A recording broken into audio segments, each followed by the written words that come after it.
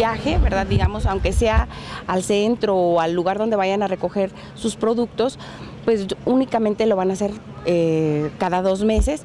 El producto viene más del doble porque también el flete que nos estamos ahorrando no lo pusieron en producto.